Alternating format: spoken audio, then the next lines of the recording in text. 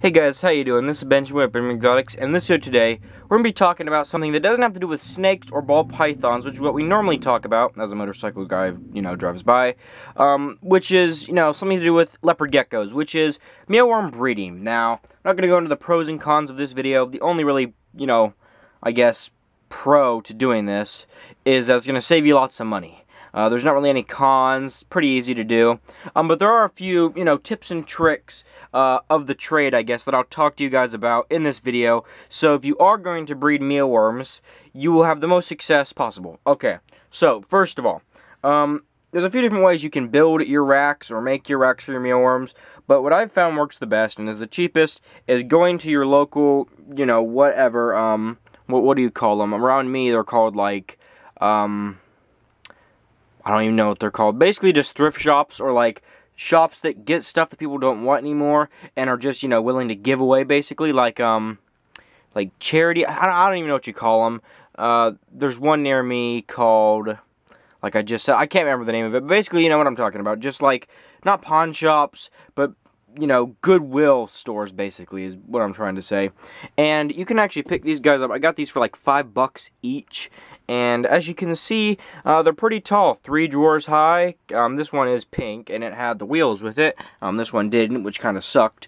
But when you do this, it's very, you know, but you don't even have to make anything. And this is the cheapest way to go. You can build your own wooden racks if you're going really big, but for just small, you know, we're talking feeding 10, 20, 30, 40, you know, maybe 50 geckos. This is going to be the best way to go. Gives you lots of airflow with how tall it is, and they're very easy to work with. And overall, these kind of racks, I would say, are the best way to go when you're selecting, you know, what you're going to house your mealworms in. You could also stack containers, but the ones that pull out like this is the best way that I've seen. Um, that's tip number one. Uh, the second thing, another thing we're going to look at is ventilation. Ventilation is key. Um, it's even more important, you know, snakes need ventilation and it's pretty important for them, depending on what species we're talking about. But for mealworms especially, ventilation is key. If you get any sort of mold in here, going to have lots of problems.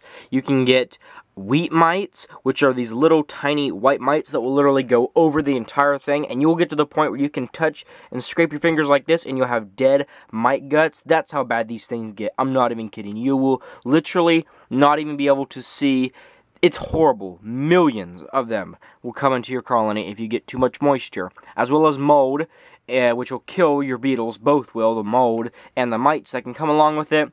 And without proper ventilation, it's going to smell a little bit. Um, if you have good ventilation in, you're not going to have much of a smell at all. Actually, I have no smell, to be 100% honest. And you just don't want there to be any, any, any, any moisture in here.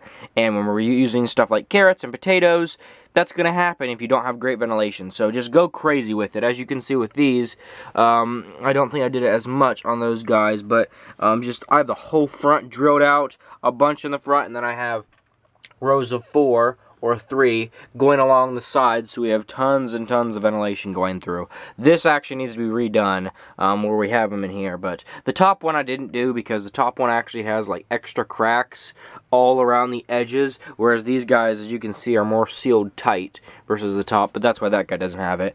Um, another tip would be that you really do want to gut load your food. Um, you know, use don't go out there and just you know use cornmeal and like potatoes. Um, now, you guys, I actually today is kind of feeding day for the mealworms, so I don't have anything in here right now. But normally I put in like carrots, broccoli, which are very high in calcium for your animals.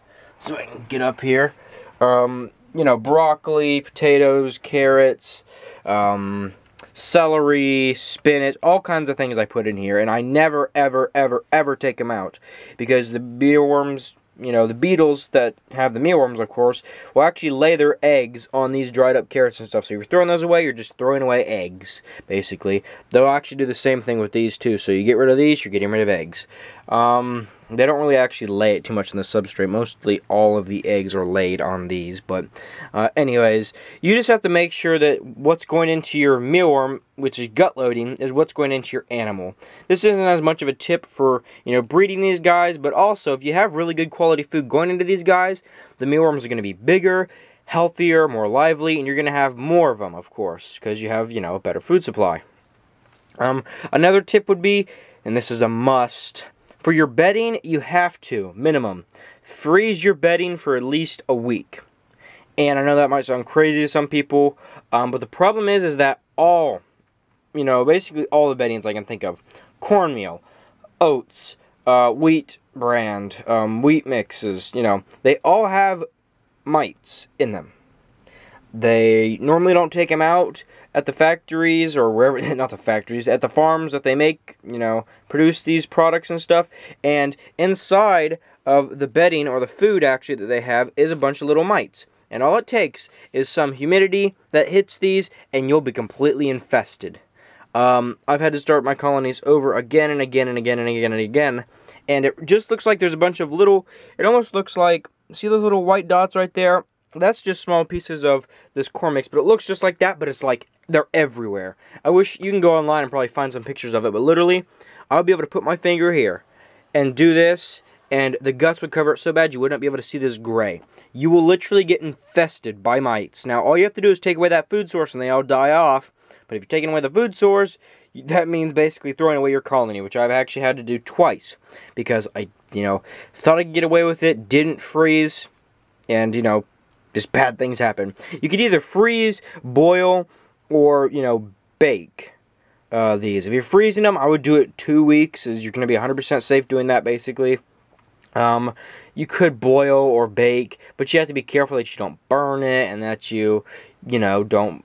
It's, I, I just don't like the other two options. To, in my opinion, if you have a big enough freezer, freezing is the way to go.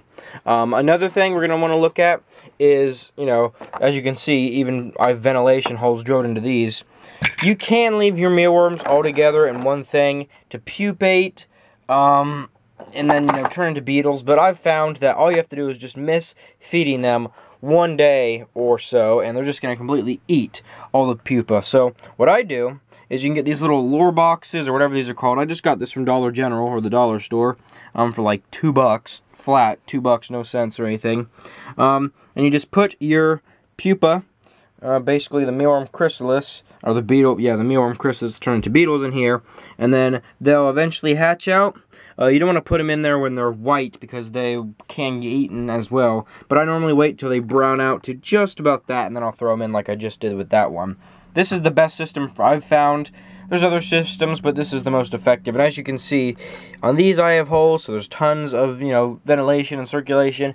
And this, you know, up here is tons of ventilation because you don't want any humidity getting in. It, humidity itself won't kill them, but the mold that will come and then the, you know, mites will.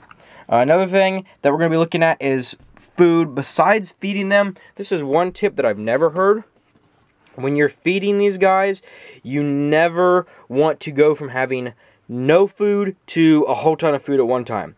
Because what I've found is these guys can actually go quite a while without having too much water. Um, like, you know, five, six plus days.